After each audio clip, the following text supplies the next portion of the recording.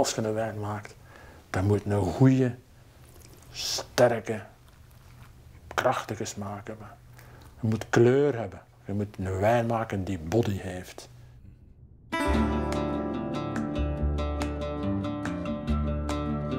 Het Hageland is fier op haar patrimonium. Het kasteel van Horst, het Begijnhof in Diest, de tuinen van Hoogaarde en de basiliek van Scherpenheuvel zijn de voornaamste trekpleisters voor de vele wandelaars en fietsers die deze streek zo waarderen. Er zijn tal van fijne adresjes om lekker te eten en te drinken, een stukje cultuur mee te pikken of gewoon mee te feesten. De typische streekproducten liggen uitgestald in de winkeltjes in de buurt. De grote trots van deze streek is de Hagelandse wijn. De druiventeelt is hard werken, het hele jaar door. Met veel toewijding plant, bemest en plukt de Hagelandse wijnbouwer zijn druiven. En het resultaat wordt regelmatig geproefd.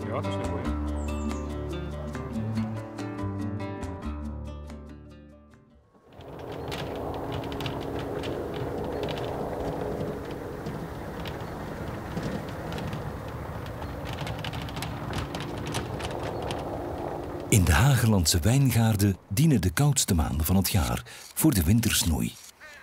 Dan worden de planten ontdaan van alle overbodige ballast. Zo blijven alleen de sterkste takken over. Daarna laat de wijnbouwer gecontroleerd de natuur haar gang gaan. Een boer dat is altijd samenwerken met de natuur. In het Hageland kan het prachtig weer zijn. Zoals we vorig jaar en dit jaar een winter gehad hebben. Om nooit meer te vergeten, dan is het echt uw passie ten top drijven om toch maar door te gaan en door te bijten en ervoor te gaan. En dat is een Hagelander, dat is een tukker. Simpel is dat. Dat is een werkende vrouwter. En die wil bewijzen dat hij iets kan maken dat dat wijn van het Hageland is. Hè. De sterkste takken die de snoei hebben overleefd, worden naar de geleiddraden afgebogen en er met klemmen aan vastgemaakt.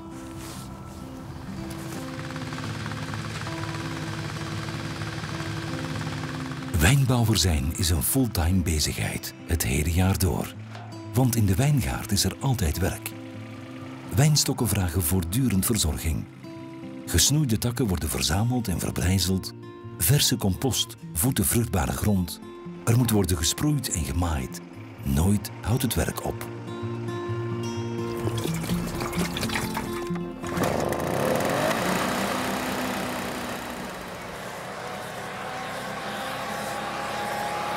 Het grootste deel doe ik alleen. Eh, af en toe, uh, mevrouw helpt af en toe mee. En uh, die is altijd kwaad als ik haar niet meeneem om te, te gaan snoeien bijvoorbeeld. Ze vindt het altijd heel zen. Dat is ook heel rustgevend. Uh, dus die komt liefst meehelpen, vooral tijdens de snoei. Voor de rest sta ik er helaas alleen voor. Het is zeer moeilijk om alles correct bij te houden, omdat bijvoorbeeld het begin van het seizoen komt, moet je alles tegelijk gaan doen. Dus zowel de, het, het, beheer van, van de grondbewerking, het onkruid, de ziektebestrijding, de planten zelf, dat komt allemaal tegelijk.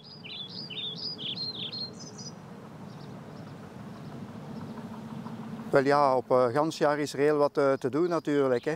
Sommige periodes zijn je meer bezig in de wijngaard dan andere. Bijvoorbeeld begin maart, dan is het volop snoeien. Dan zijn we weer ganse dagen bezig. En nu ook, met de zon gaat alles wat uh, groeien. En nu begint er terug werk in te komen. We moeten die takjes uh, tussen de draden steken en de ganse zomer verzorgen. Want zonder een goede verzorgde wijngaard geen druiven en geen wijn.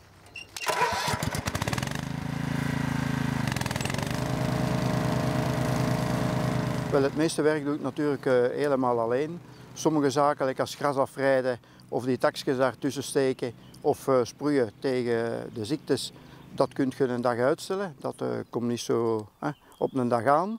Uh, het plukken, daar heb ik wel vrienden en familie voor. Want een keer dat we beginnen plukken, ja, dan moet dat wel vooruit gaan natuurlijk.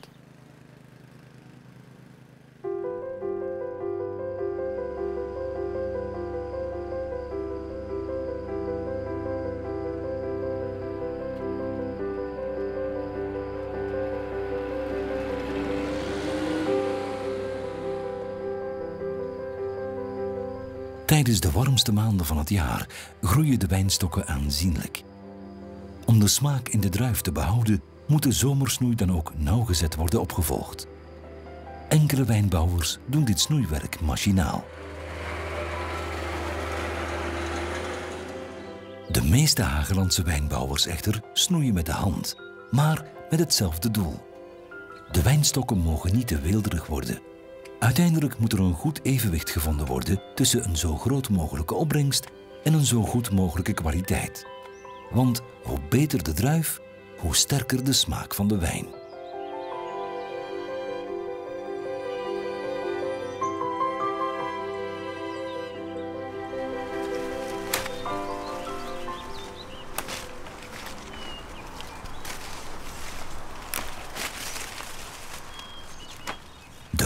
Van de druif precies bepalen doet de wijnboer met een refractometer. Die meet met grote nauwkeurigheid het suikergehalte. Ligt dat hoog genoeg, dan is de druif klaar om geoogst te worden. Naast het suikergehalte wordt ook de zuurtegraad van de druif gemeten. Daarvoor wordt blauwloog gebruikt. De verkleuring geeft het zuurgehalte aan. Tijd om te oogsten.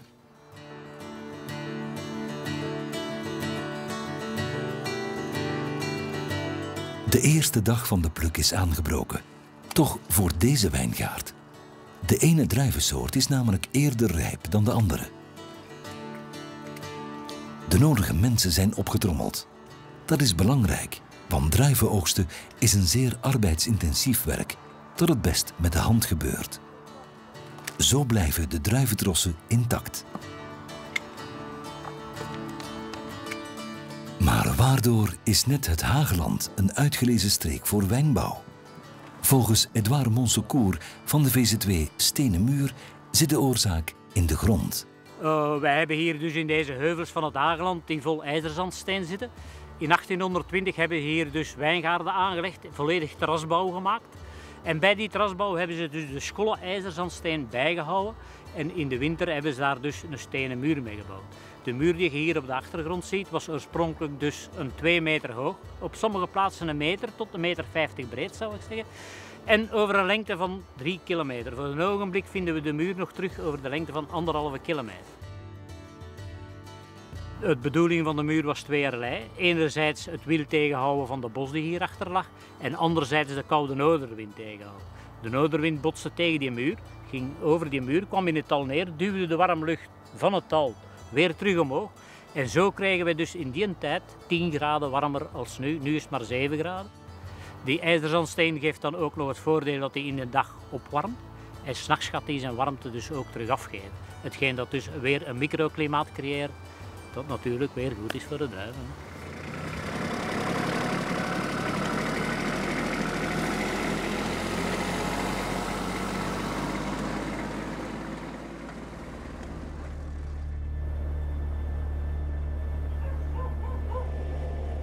De voorzichtig geplukte druiven worden gekneusd en van hun steel ontdaan.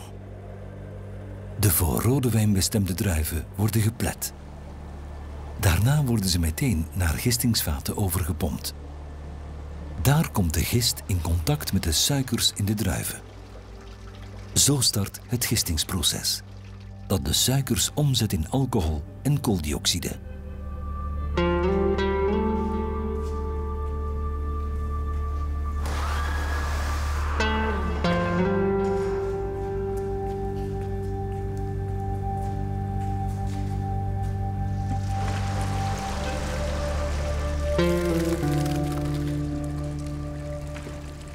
Witte wijn te maken worden de druiven onmiddellijk geperst. Deze troebele vloeistof is most. Uitgeperste, nog niet vergiste druiven. De most gaat naar het gistingsvat.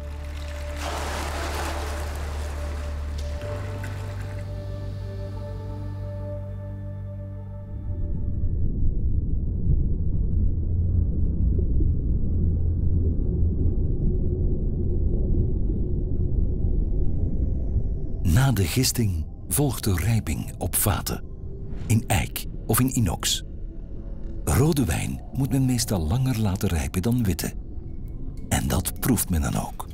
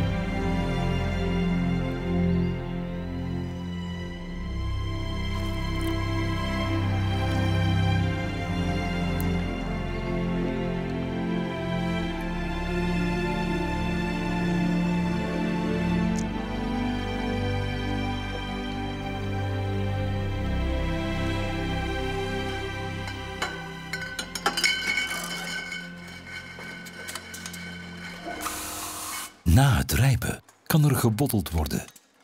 Elke fles krijgt haar eigen etiket. En dat is dan een echte Hagelandse wijn. Klaar voor gebruik. Ik denk dat een Hagelandse wijn dus een frisse terraswijn is, een zomerwijn, dus zonder, zonder de pretentie te hebben van, van een Grand Cru te zijn. Maar toch een, een, een goede kwaliteit. Die kwaliteit zonder pretentie laat zich graag proeven op de jaarlijkse wijnfeesten in Wezenmaal. Een zeer gesmaakt zomerfeest. Uiteraard voor de plaatselijke bevolking, maar ook voor de vele bezoekers uit alle hoeken van het land die graag kennis maken met de wijnbouwers en hun typisch Hagelandse wijn, waar ze helemaal terecht bijzonder fier op zijn. Met hart en ziel wordt hij geteeld met de hand, geplukt met de hand. En dat is een familiewijn die op poten wordt gezet om, en men voelt werkelijk, als je die wijn dan drinkt, voelt men het hartkloppen van de wijnboer. Dat is geen fabriekswijn, hè. dat is een ambachtelijke, artisanale wijn dat je proeft. Hè. Maar dit is dan beter, hè? Dit is dan beter. Dat is wel goed, hè? Pinot Noir staat... Hier, wat is dat? Ja, hier zie je het ook, zie je dus. Dit is, Ja. dit is iets anders. Dat is iets dat is anders. virus, denk ik. Ja, ja, ja,